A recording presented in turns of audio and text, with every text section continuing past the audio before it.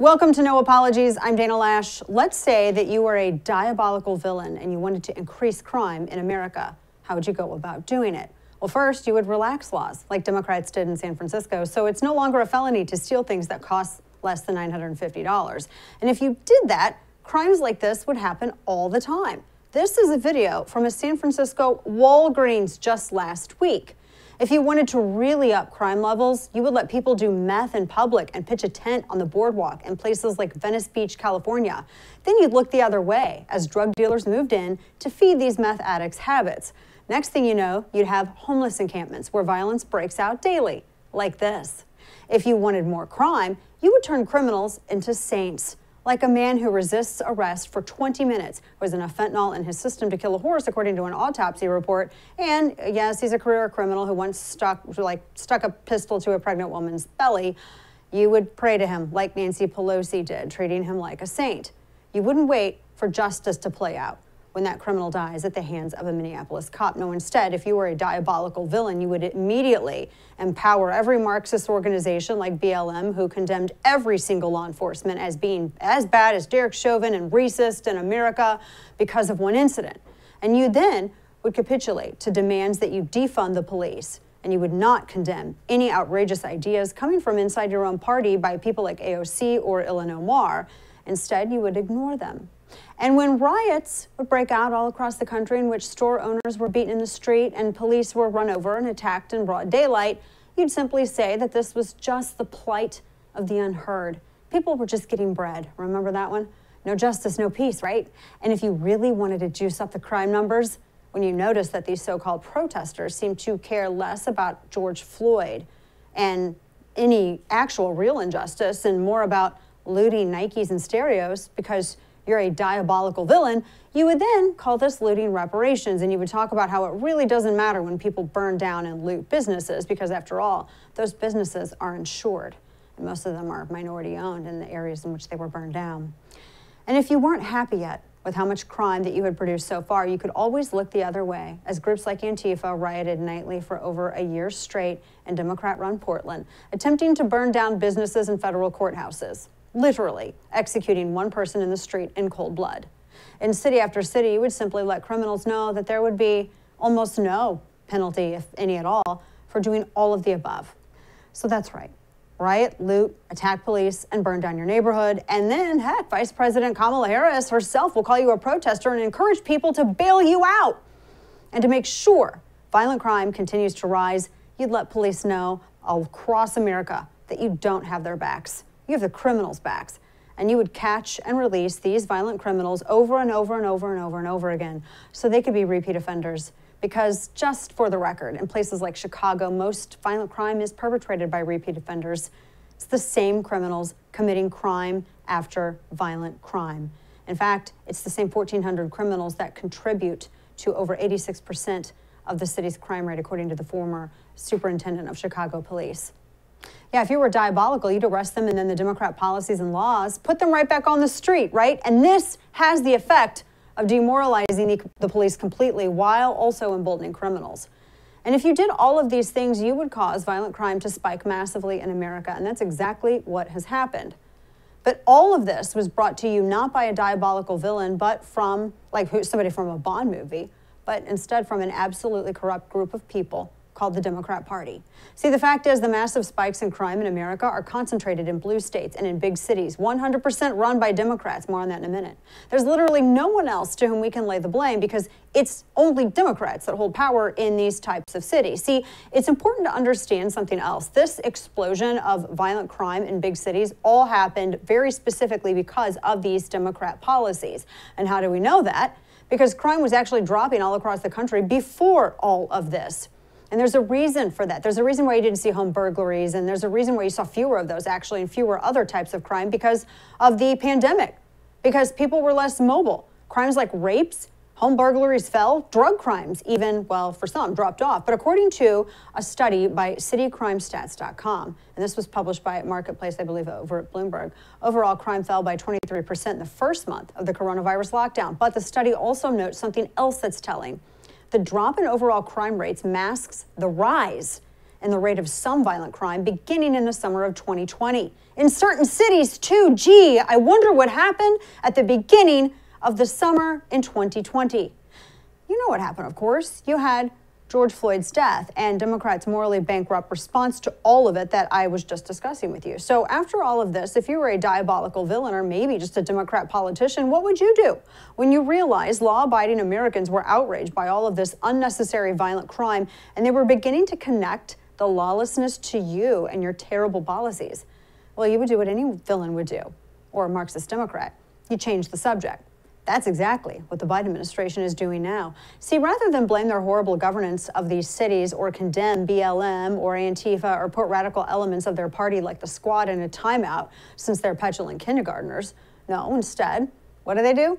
Easy. Do what they always do distract everyone and blame guns. Watch. And I might add, the Second Amendment from the day it was passed limited the type of people who could own a gun and what type of weapon you could own. You couldn't buy a cannon. Those who say the blood of the the blood of patriots, you know, and all the stuff about how we're going to have to move against the government. Well, the tree of liberty is not water with the blood of patriots. What's happened is that there never been, if you want to think you need to have weapons to take on the government, you need F 15s and maybe some nuclear weapons. The point is that there's always been the ability to limit, rationally limit the type of weapon that can be owned and who can own it. Exactly what you would expect from Democrats, creating the problem and then proposing a solution that fits the agenda. But it doesn't address the actual problem because Democrats just, it's not that they hate guns, they like guns for them, they hate guns for you. It's they hate that you own them. And they know that cracking down on guns will play well with their base, even though their own base doesn't list it as a top five priority, not even in the last election. In 2019, now here's something else. You know, I told you we were going to talk about this in a minute. The Washington Post published data detailing the cities in America with the most violent crime rates. And the cities with the overall highest crime rates were New York, Los Angeles, Chicago, Houston, Philadelphia, Memphis, Detroit, Dallas, Phoenix, Baltimore, San Antonio, Las Vegas, Milwaukee, Nashville, Charlotte, Albuquerque, Jacksonville, Florida, St. Louis, San Francisco, and Cleveland. What do all of these cities have in common? Democrat mayors and city councils, with the exception of San Antonio and Las Vegas, which elected independent mayors, and Jacksonville, which elected a Republican mayor. Each of those cities listed are run by Democrats. Now, the most violent cities in America, and this is again Washington Post per 10,000 residents Memphis, St. Louis, Detroit, Baltimore, Springfield, Missouri, Little Rock, Stockton, California, Cleveland, San Bernardino, Oakland, New Orleans, Albuquerque, South Bend, Indiana, Milwaukee, Rockford, Illinois, Lansing, North Las Vegas, Wichita, Chattanooga, and Houston. All, with the exception of Springfield, Missouri, all of them have a Democrat mayor. And not just Democrat mayors, but gun control mayors with city councils to match. These are also the cities with some of the lowest prosecution rates for felony crimes committed with illegally possessed firearms. For example, in December of 2013, Chicago media reported how thousands of felony gun cases were dismissed in Cook County criminal courts. In April of 2021, according to CWB Chicago, a felon rearrested for the murder of a rival gang member. Well, he was arrested and was able to commit this murder because he had been allowed to walk for just a $200 bond on a felony gun charge that usually sees an exponentially higher penalty. And by exponentially higher, I mean you're looking at five figures and at least a minimum of 10 years in jail. These are not exceptions to the rule, they are the rule. Criminals thrive on the indulgence of the court's coddling as justice is denied to their victims. This routinely happens in these cities on this list. Democrats don't address this in Biden's gun control plan. In fact, this gun control plan isn't even serious about reducing crime at all whatsoever.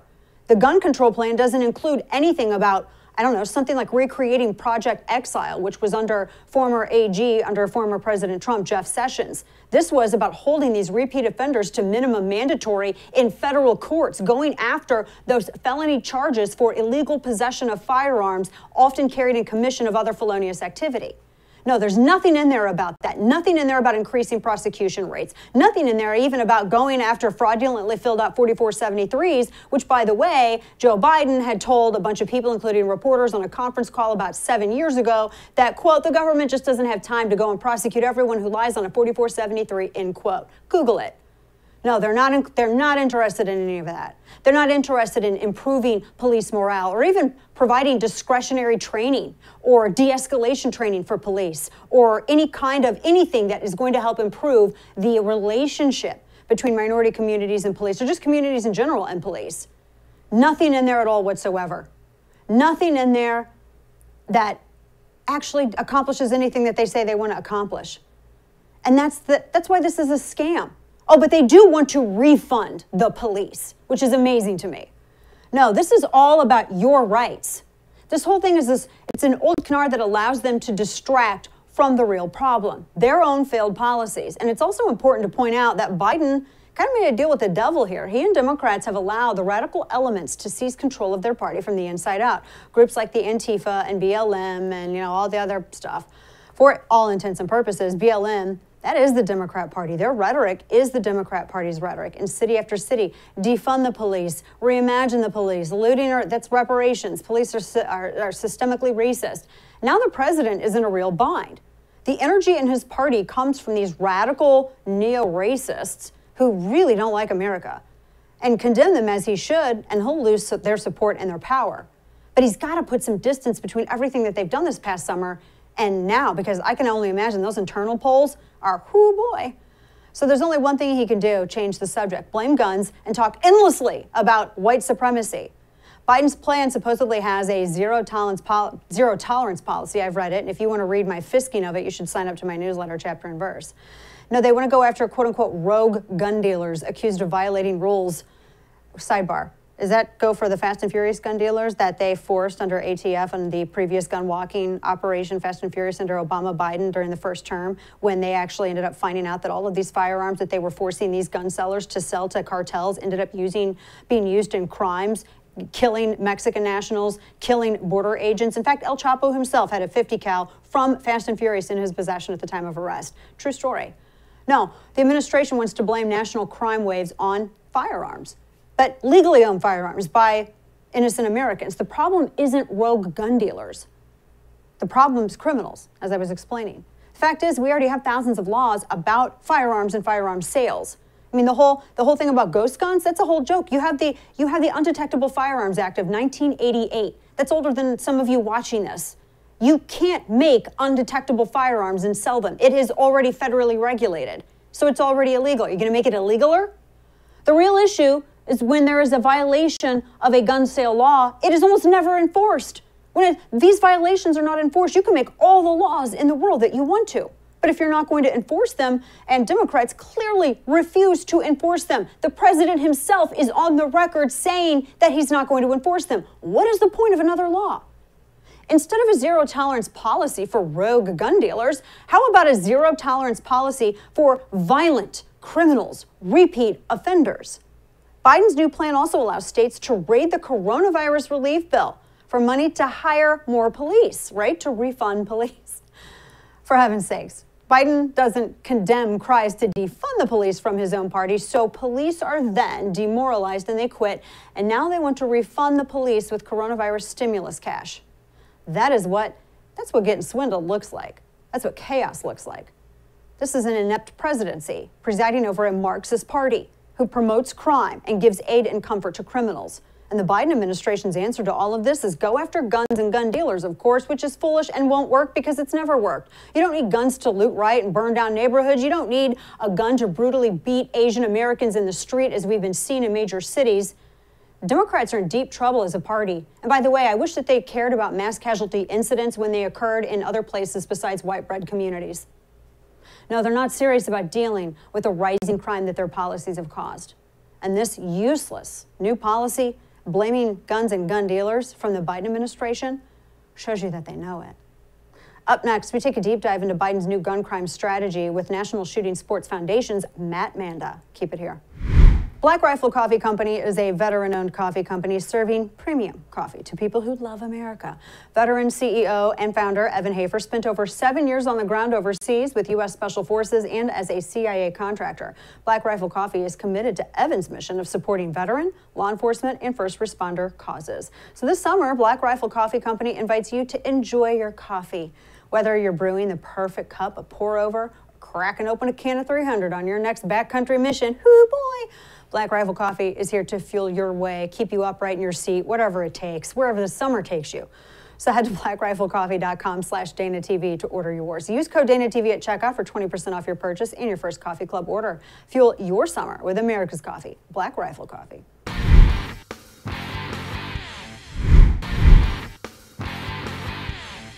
So, a little earlier, President Biden announced his new plan to crack down on guns because that's going to solve all the crime.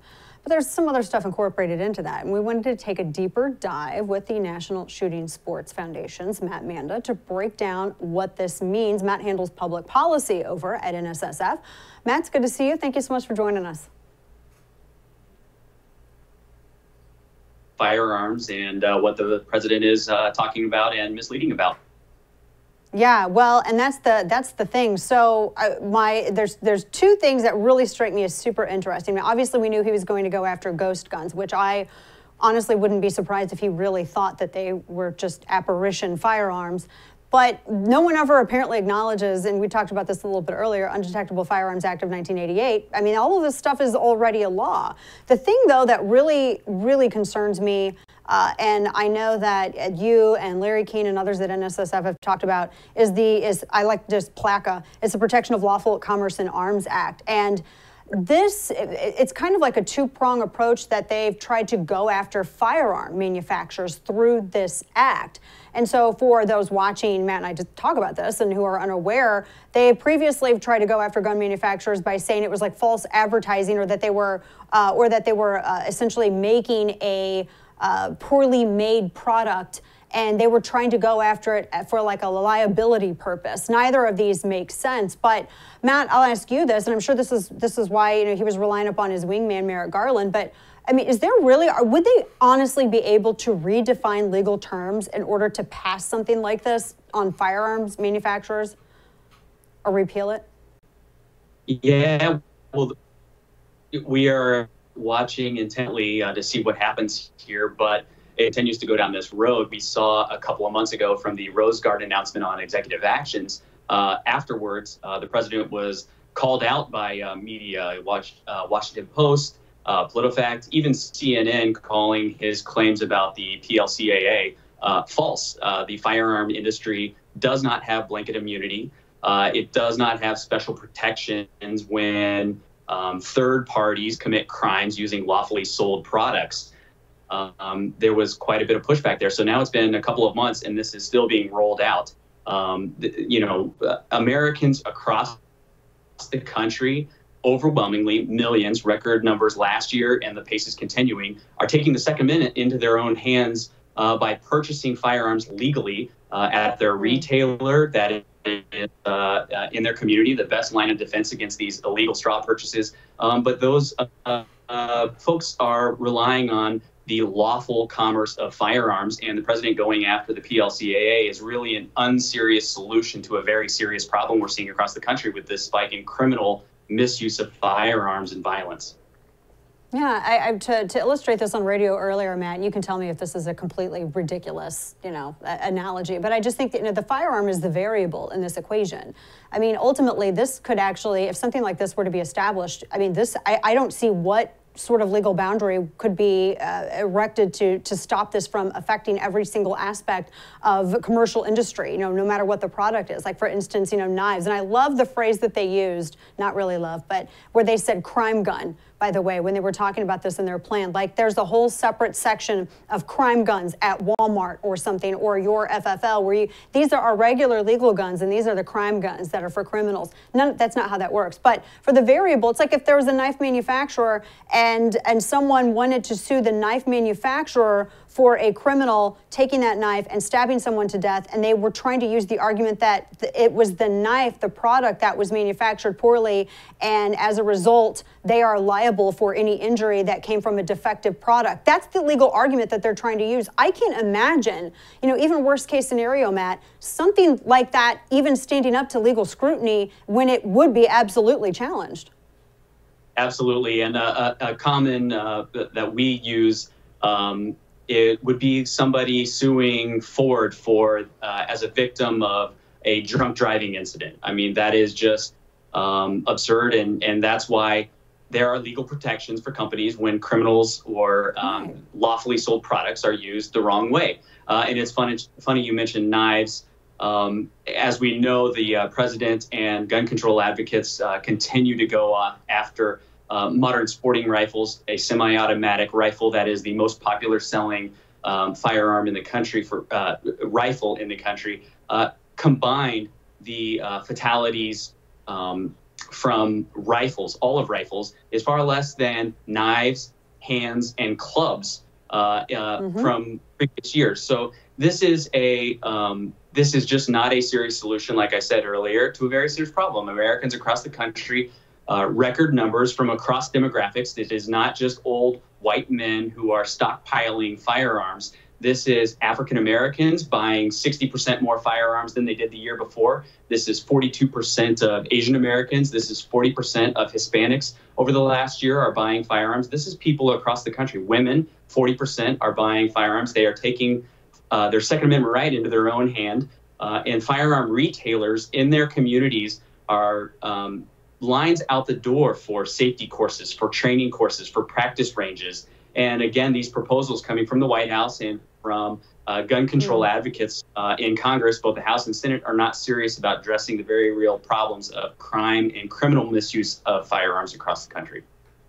No, you're absolutely right. Talking to Matt Manda with NSSF. Matt, you mentioned too the people who are purchasing firearms. Right on cue, now, the day that the president's going to be coming out and, and pushing this, these new gun control measures, this like five pronged uh, approach to this, you saw Associated Press, Time Magazine, a whole litany of, of uh, legacy media outfits that were all approaching uh, background checks the same way they were saying, oh my goodness, with all of these new purchases, because that's been a pretty strong talking point. I mean, if, if legally owned and legally purchased firearms, if the increase in this is somehow in any way related to crime, then why doesn't the crime match the record number of sales? I think your your organization had it like one and a half to two million firearms or, uh, or two million, I think, background checks per month.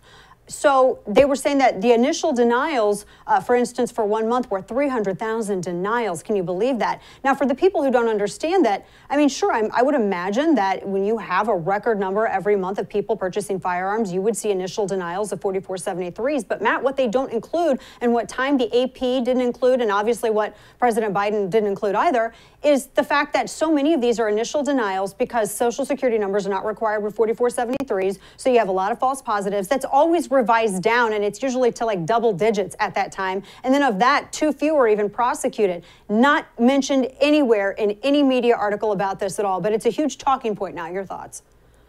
Yeah, exactly. I spoke with a uh, local TV station yesterday in Florida about this very point. and um, what we want as an industry is law abiding Americans to be able to purchase firearms. We've seen over the last 18 months, those are record numbers.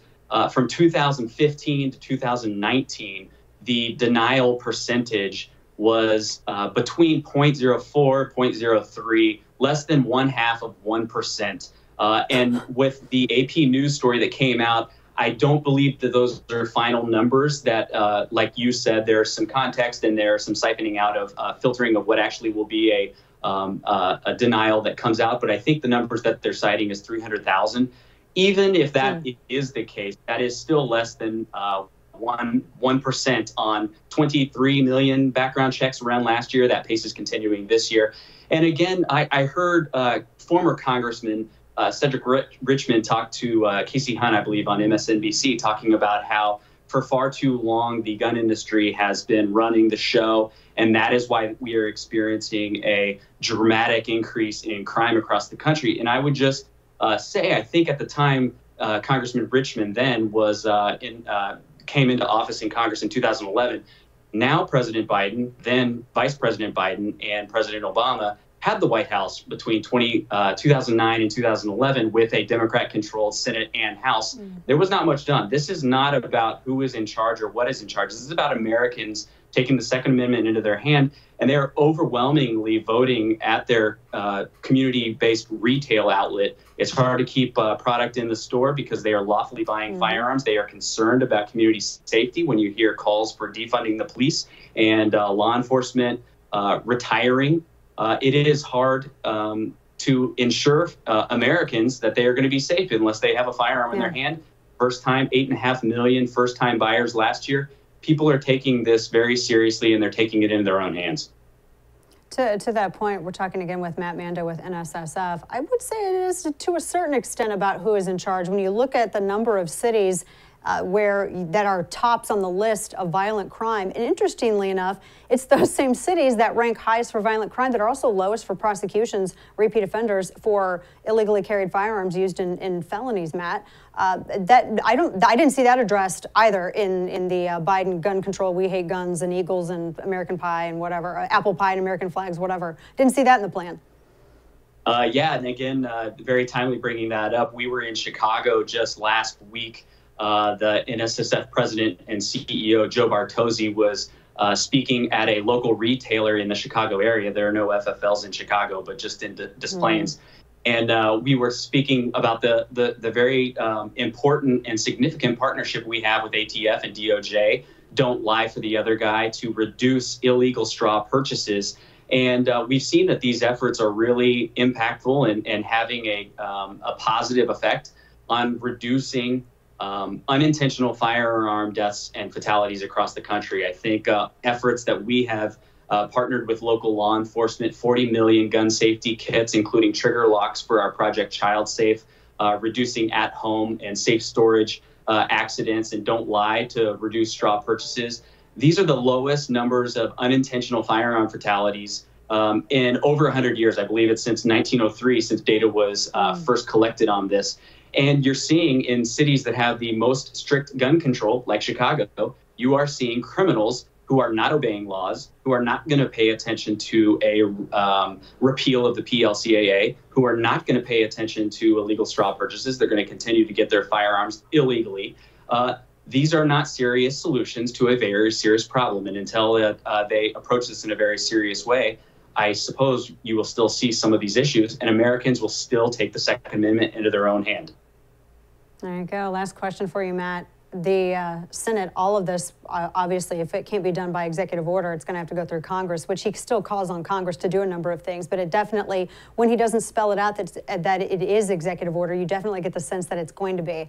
Uh, but going through the Senate, I mean, it'll make, it'll make it through the House right now before 2022, maybe. But going through the Senate, you're looking at Joe Manchin and Kyrsten Sinema and a few other senators. The Joe Manchin vote is incredibly interesting. He's always been a little bit unpredictable on issues like this. He's not as, as stalwart about Second Amendment rights as we are. But where do you see him falling uh, on the line with, with some of these proposals that are coming up if they do in, you know, turn into legislation that he has to vote on?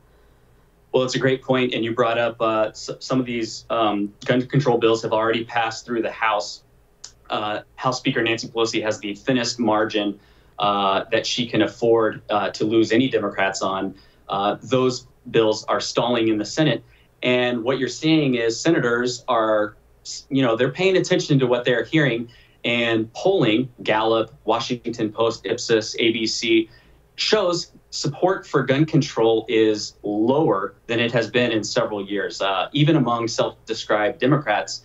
I believe that uh, that polling is about 5 to 10% less on who supports more strict gun control. So some of these uh, senators that you're seeing, maybe Joe Manchin, maybe Jon Tester, maybe um, mm-hmm. Angus King up in some of these other places you've seen in similar states, the other senator, um, Senator Steve Daines, Senator Shelley Moore Capito, uh, Senator Susan Collins have come up, come out against the ATF uh, nominee. They are not supportive of more gun control. They see what is going on across the country. These uh, Americans who are lawfully buying firearms are in those suburbs. They're in the swing districts that have seen community violence across the last year. They are paying attention. This is uh, going to be something to watch. It is critically important right now as the nominee is out there, as this gun control legislation uh, is in the Senate. You've seen some states where, uh, like Florida, where state level policies have died. They've seen that, yeah. Uh, there was not support there. Sessions ended with gun control bills not going anywhere. So they're paying attention. Good. It's good to see that too. Yeah, and uh, also considering West Virginia, Manchin State going by Trump plus 38, strong 2A folks there. Matt, good to see you, Matt Manda, NSSF. Always a pleasure, and we'll we'll watch and see what happens uh, with this proposal. Thanks for joining us. Thanks, Dana. Appreciate it. Mm -hmm. Another cyber hack just a day after a Biden summit with Putin. We'll talk to Rebeccah Heinrichs, senior fellow at Hudson Institute, about that. Keep it here.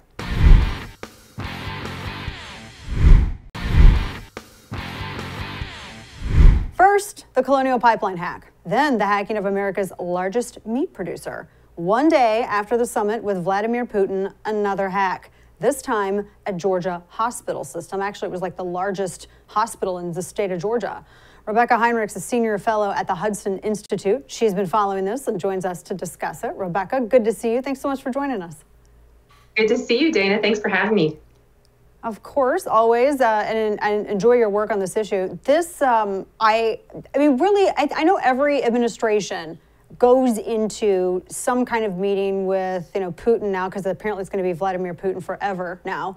Uh, goes into a meeting with Russia, you know some of these other foreign dignitaries at these G7 summits, and it's really optics. I mean, we know that nothing important is going to happen while the cameras are rolling, but it is really really weird how you know you have Joe Biden show up, they have this discussion, and then the day after, uh, you know, uh, here we have another uh, ransomware hacking. The excuse that I heard, Rebeccah, and I heard this with Colonial is that, well, it's some Russians, but it's not Kremlin affiliated. It's just some Russians that have done like Colonial. It's just some Russians where they think it's some other, an, another criminal Russian outfit.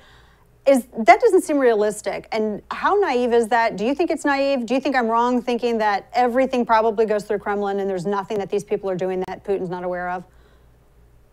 Exactly right. It's an authoritarian country. Putin knows what's going on.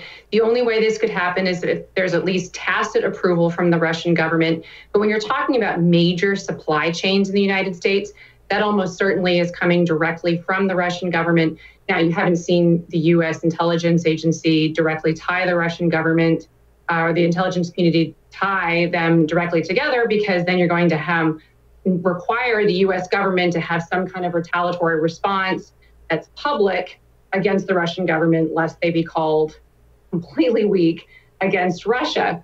However, you did hear President Biden make cybersecurity a big deal.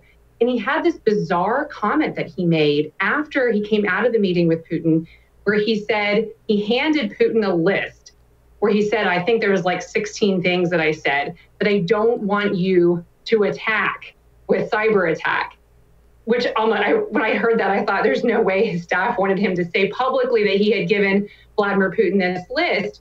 But in doing so, he's essentially, I mean, he is saying that he knows that the Russian government um, has the ability to at least stop these attacks. But he's also saying, listen, don't attack these. These are our most important things we don't want you attack, to attack. But if you attack all these other things, you're not going to suffer the same kind of consequences. The exact kind of thing you don't want to be telegraphing Vladimir Putin because you could unintentionally incentivize him to continue attacking these other things without consequence. So it's no surprise that there's another attack right after the meeting. I assume that this Georgia hospital was not on the list of those 16 things that that uh, President Biden gave to Vladimir Putin. It, it, I, I remember one of the uh, one of the discussions about this when the press was saying, uh, asking about the nature of the talks, and there was something where he had said, and I think this was when he was in the full sun press conference after Putin's was inside insanely, and Biden they decided to put him outside, this elderly gentleman in full sun uh, with no shade, and try to talk for a couple hours. But he had said, well, I told him, you know, to stop any or to not have any kind of cyber aggression, which that it almost seemed it seemed weak. It seemed like you were you were trying to negotiate from a position position of weakness, which that has never been, at least, you know, when you look at Reagan or, or even W and, and under Trump, that's never, it's never been the best place to negotiate from. It's always a position of strength. That seemed like a giant troll. What can we expect, do you think? Are we going to see more aggression in terms of cyber warfare from, from Russia? And should I go ahead and buy gas in bulk? Yeah, um, I, I, would say that the Russians are definitely not deterred by whatever President Biden said in that meeting nor do I think that they should be. Um, you make a great point about from a position of strength. One of the things that I, I wrote this article for the Washington Examiner um, where I say that, you know, for all of the Russia, Russia, Russia we heard during the Trump administration, we, we really saw some tough policies towards Russia coming out of the Trump administration over the four years. They opposed the Nord Stream 2 pipeline. That's that big energy pipeline of natural gas that would go flow from Russia to Germany.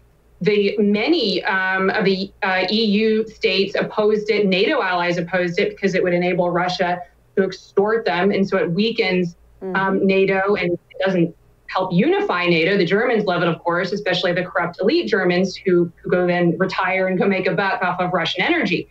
Um, the Trump administration opposed it. Congress, and from a bipartisan fashion, opposed it, had sanctions opposing it.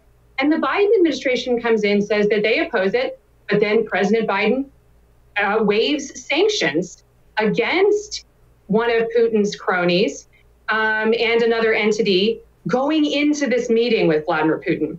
That is by, I mean, that is a position of weakness. When you're already capitulating, making concessions, going into a summit, you're saying, listen, I'm going to walk back. I haven't even gotten anything for this yet, but I'm willing to, you know, bend, you know, bend down and do the things that you that you want me to do, um, and hand you these things and, and walk them back for nothing.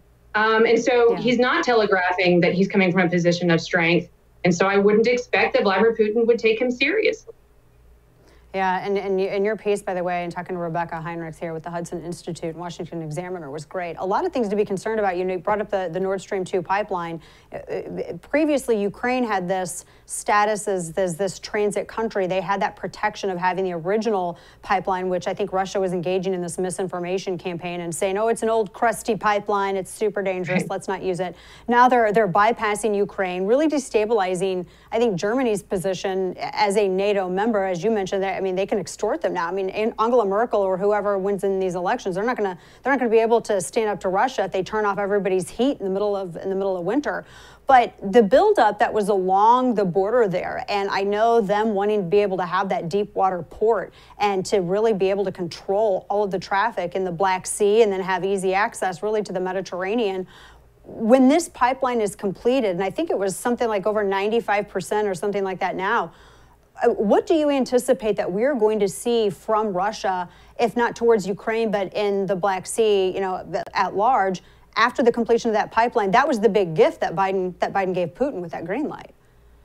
That's exactly right. And one of the things the Biden administration says is, well, listen, it was 95% completed, so you know there's nothing we can do. But a 95 com, you know percent completed pipeline is still a pipeline that doesn't work.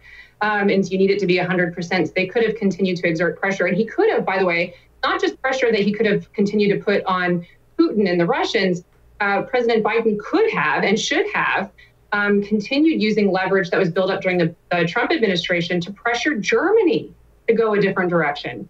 I mean, it's like the Biden administration thinks that if a, if a country is an ally, therefore we are aligned in every manner and facet. And with the Germans, we know it's not. We know it's not true versus Russia. We know it's not true versus China.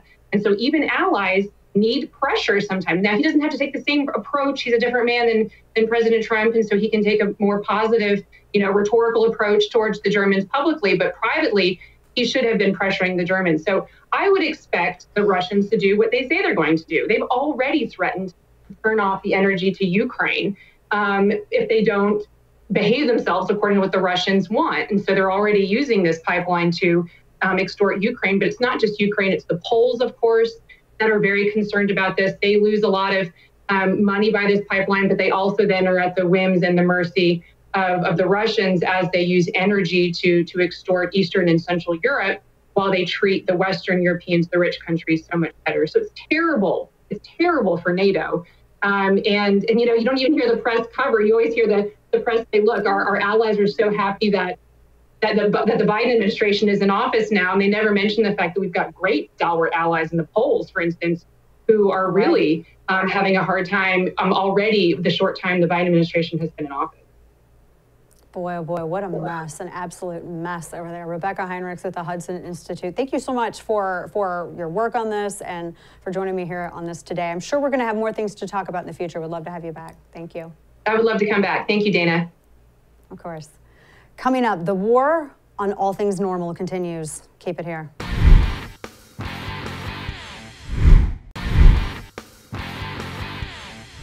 Well, for a while now, Victoria's Secret sales have been on the decline. And rather than get to the bottom of why, Victoria's Secret decided that it would go completely broke but going woke. How? They're going to ditch the angels, those super long waisted and possibly slender models with fake wings, and trading them all in for an all star lineup of very diverse individuals, which should be like caps lock with a trademark. It's almost like woke hates beauty. It's all part of this like great flattening of beauty done in the name of quote unquote diversity and quote unquote inclusiveness by Woke Inc. I'm totally going to trademark Woke. After all, our new goal should be equity, we're told, and everyone should be supposedly regarded as equally beautiful. But not everyone is equally fast or equally tall or equally smart, yet we celebrate standouts in those categories. Why can't we celebrate standouts in beauty? I mean, in any case, it seems now Victoria's Secret has caught this diversity, equity, inclusivity bug and removed one thing from their brand that actually made people look at their like their panties and jammies, angels in lingerie. But will it work? I mean, ask yourself: if you're a dude, do you want to look at a dude who who says identifies as a woman, or would you just rather look at a woman?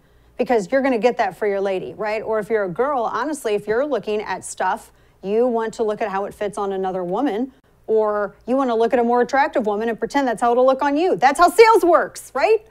Oh, apparently it makes you a giant bigot for asking this question, like transphobic or sexist or bigoted. I don't know. I mean, we used to accept that people had a type. Like, right, maybe your type as a dude is the opposite sex. And last time we checked, that doesn't make you a bad person, except society says it does now. It makes you a heterosexual. But society says that that means you're just bigoted. What? One of the new models, by the way, for this is Megan Rapinoe. She is going to host some kind of podcast or something, not walking around in lingerie. I'm not going to tune into any of that because no, I'd rather jump off my roof and break my legs down to nubbins. Uh, I'm not looking at Megan Rapinoe as a Victoria's Secrets model. I'm not looking to her for fashion ideas. I'm not looking at her for any latest thoughts on how tough it is to be a famous female soccer player and have all these multi-million dollar endorsements. But, you know, apparently you don't get paid as much as the guys, even though a high school guys team in Texas beat you during a scrimmage. But okay. No, they'll now also feature a plus size model, which is, I don't, there's plus size, by the way, and then there's also morbidly obese, and I cannot stand that our society conflates the two. So let's make that, let the nuance exists here. So, you know, skinny isn't the only female form that can be beautiful. I mean, I think we all agree that, right? And so do plenty o dudes. Since when is that news, though? Notions of beauty change over time. And there's actual explanations to that, right? Beauty is subjective. And a lot of things like economic stability plays into it. There's all kinds of definitions of beauty, blah, blah, blah. But Victoria's Secret had a specific brand and an image and it worked for them pretty well, even if their super over padded bras didn't. Sure, the angels were very beautiful and super long waisted and unattainable for the average person. But we do aspire and celebrate outstanding beauty as humans, and I fail to see the problem with that. And there was nothing wrong with having a brand like Victoria's Secret that celebrated a particular view on beauty, a view that millions of men and women appreciated.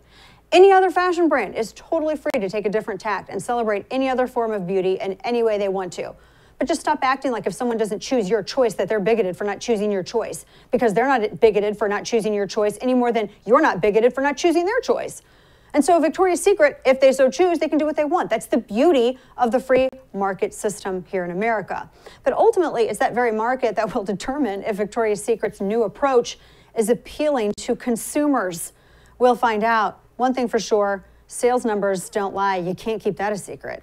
That does it for us tonight. Thanks for tuning in. Good night, and don't bend the knee.